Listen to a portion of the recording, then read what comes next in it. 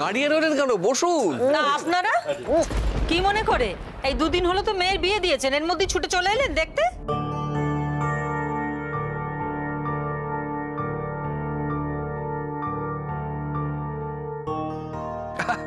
আরে দাঁড়িয়ে কেন?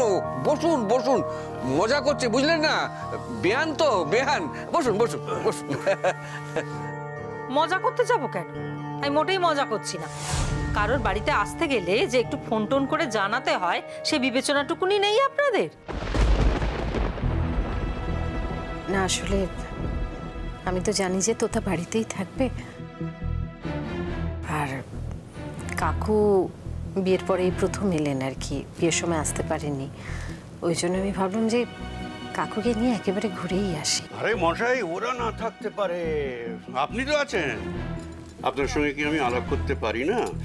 আচ্ছা জন্মাবার সময় আপনার মা বোধহয় আপনাকে মধু টধু দেননি তার মধ্যে বোধহয় নিম পাতা ঠেলে দিয়েছেন না? সেই জন্য এরকম খড়খড় খড়খড় খড়খড় খড়খড় করে কথাবার্তা বলছেন।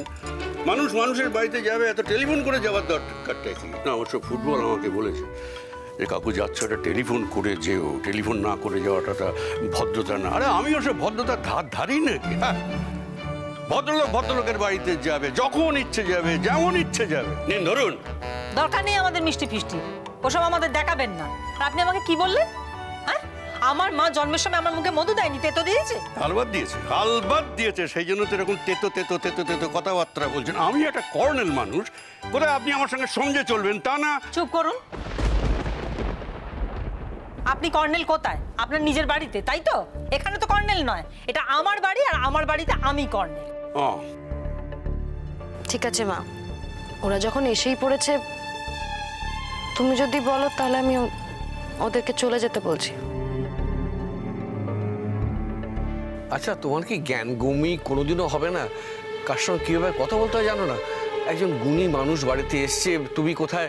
আচ্ছা তোমার অসুবিধাটা কি হচ্ছে একবার বলবে? কি অসুবিধা হচ্ছে সেটা বুঝতেও পারবে না।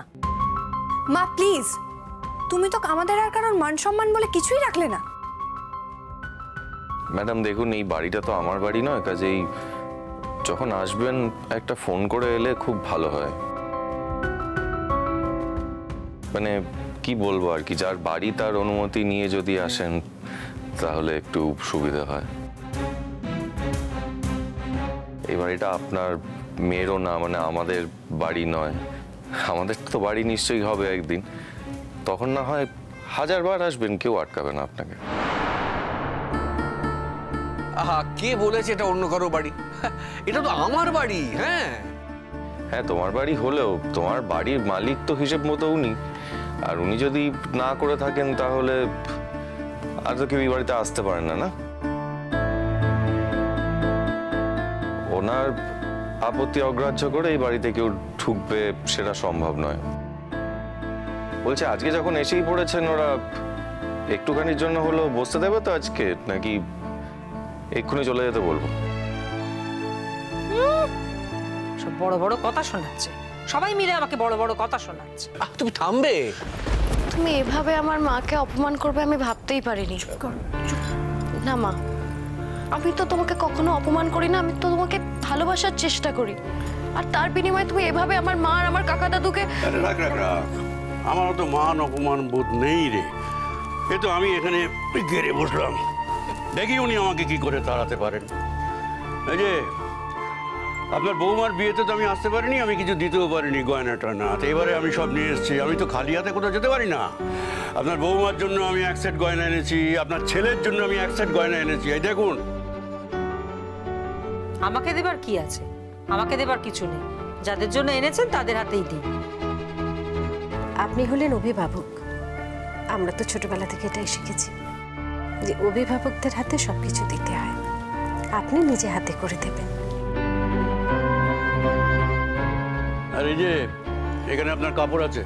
কোনো দরকার নেই। ওসব কাপড় টাপড় দিলে আমার মন গলবে না। তুমি ফেলে দিও মা। যদি পড়তে ইচ্ছে না করে ফেলে দিও। কিন্তু কাকা দাদু যখন নিজের হাতে তোমাকে এটা দিচ্ছে আমার মায়ের কাকা তো তোমারও কাকা তখন তুমি এভাবে ফিরিয়ে দিও না। ফেরত দেবে না দেখি কত কি করে ফেরত দেয়। কত বড় সাহস একবার দেখি। আমার মেয়ের বয়সী মেয়ে এত লম্বাচড়া কথা বলছে? আর এই যে বাবা জামাই তোমার জন্য ধুতি পাঞ্জাবি এনেছি। পরো কিন্তু বাবা। দেখুন আপনি কিন্তু আমাদের খুব লজ্জায় ফেলে দিচ্ছেন। এই তো কয়েকদিন আগেই তোতার মা এত কিছু উপহার দিলেন। আবার আপনিও না না তোতার মা দিয়েছে। তোতার দাদু তো দেয়নি। তোতার মা আর তোতার দাদু কি এক হলো? মনে মনে তারা এক কিন্তু সম্পর্কটা তো একরকম নয়। তোতার মা হচ্ছে তোতার গার্জেন আর আমি হচ্ছি তো তার মায়ের গান আমি হচ্ছি এখানে সবার গান ব্যাপার আপনাকে প্রণাম করা। কাকিমা না না না। বাবা থাক সবাইকে প্রণাম করতে হবে মা? থাক মা। আদিক খেতে করো না যাও। ঠিক আছে ঠিক আছে ঠিক আছে আসলে দেখুন ও আমার গিন্নির কথা কিছু মাইন্ড করবেন না মানে ও এরকমই কখন কি বলে তারপর ঠিক থাকে না। কখন কি বলে মানে? চুপ কর। কে কখন কি বলে? আমি বলি তো আমি যা বলি সবসময় ঠিক কথা বলি। না প্লিজ একটু শান্ত হও। আসলে আমরা আজকে উপোস করেছি তো নীলের উপোস। তুই উপোস করেছিস? কিছুই তো মেয়েকে শেখাননি। এখানে আসার পর আমি তো সব হাতে খড়িয়ে দিচ্ছি। আমি তো মেয়েকে লেখাপড়া শিখিয়েছি। বাকি যা যা শেখাতে পারিনি সেগুলো আপনি শিখিয়ে নেবেন। আপনার তো বাড়ির বউ। আমার বাড়িতে এসব করার কোনো প্রয়োজন হয় তাই শেখাইনি। কেন? শ্বশুর বাড়িতে এলে যে আরও অনেক কিছু করতে হয় সেইটুকুনিও শিখিয়ে পাঠাননি? ঠিক আছে, তাতে তো কোনো অসুবিধা নেই। মেয়েকে এমনভাবেই মানুষ করেছি যে যেমন শেখাবেন তেমনই চলবে। আপত্তি তো কিছু করেনি। এই যে আপনি উপোস করতে বলেছেন নীল ষষ্ঠীর পুজো করতে বলেছেন, আপত্তি করেছে কি? উপোসও করেছে, পুজোও করেছে। আর ভালোভাবেই তো আপনারা পুজো করেছেন, তাই না? তোরা কি নির্জলা উপোস করলি? না। মা তো নির্জলা করতে বারণ করেছে। কিন্তু আমরা ভাত খাচ্ছি না। ওই দুপুরবেলা পুজো দেওয়ার পর একটু সাবু মাখা খেয়েছি আর রাতে মা বলেছে লুচি বানিয়ে দেবে। মা বলেনি তুমি বলেছ। আমার শরীরে অত শক্তি নেই যে আমি গাদা গাদা লুচি ভাজবো বসে। তোমার যদি অত ইচ্ছে হয় রাত্রিবেলা খান কত লুচি নিজে ভেজে খেয়ে ঠিক আছে আপনি যদি আপত্তি না করেন তাহলে আমি কেন? আপনি এসে রান্না করতে যাবেন কেন? আপনি তো আমার কুটুম। তা কুটুম আমাদের বাড়িতে এসেছে। তা এসে আমার রান্নাঘরে গিয়ে আপনি রান্না করবেন আর আমিও আপনাকে রান্নাঘর ছেড়ে দেবো। তাই কি হয়? আপনি করতে না দিলে তো করতে পারব না। সে জাগে বাদ দিন। আপনার বৌমা কিন্তু খুব প্রশংসা করে আপনার।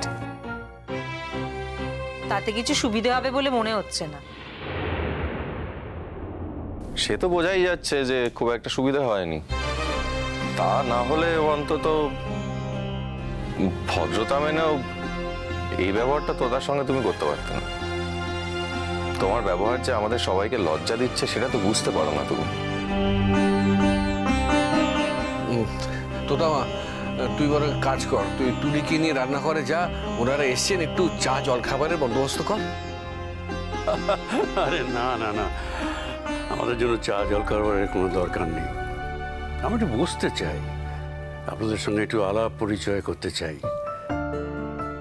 আপনারা হলেন আমাদের কুটুম। তো উনি যতই মুখ ঝামটা দিয়ে জিজ্ঞেস করুক না কেন কেন এসছেন? আমি কি সুসুর করে চলে যাব নাকি? না না, আমি তো সে বান্দা নই।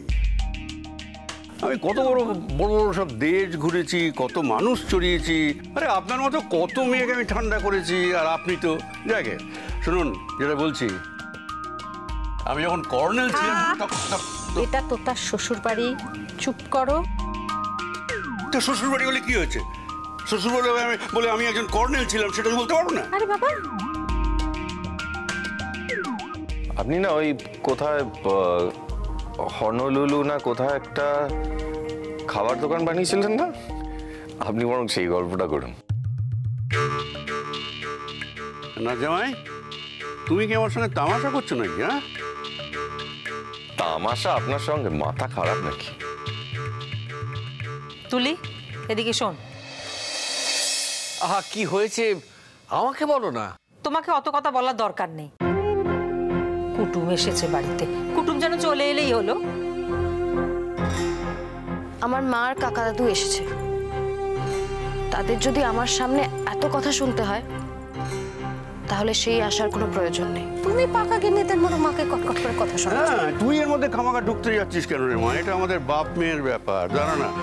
আমি ওকে ঠান্ডা করে দিচ্ছি।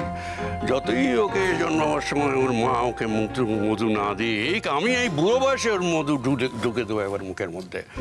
এই যে শাড়িখানা দিয়েছি দু চোখ মিলে তো এখনও দেখা হয়নি। একবার শাড়িটা পরো পরে দেখো।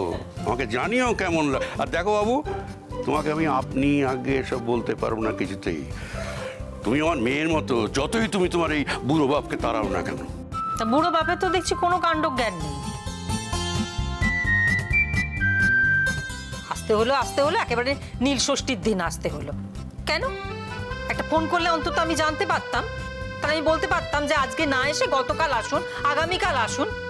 নীল ষষ্ঠীর দিন বাড়িতে তো কোনো আঁশ ঢোকে না। তা আমি কি করব? আমার বুড়ো বাপকে তো কোনো মাছ মাংস খাওয়াতে পারব না। তা কি করব? ওই সাদা আলুর তরকারি আর লুচি খাইয়ে বাড়ি পাঠিয়ে দেবো?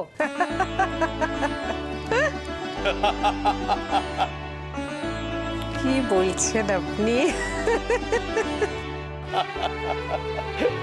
কেন? বাংলা ভাষাতেই তো বলছি নাকি বাংলা ভাষা শোনার অভ্যেস আচ্ছা আগে বলবি তো রে মা হ্যাঁ? আগে বললে আমি আগেই আসতাম নাহলে কালকেই আসতাম।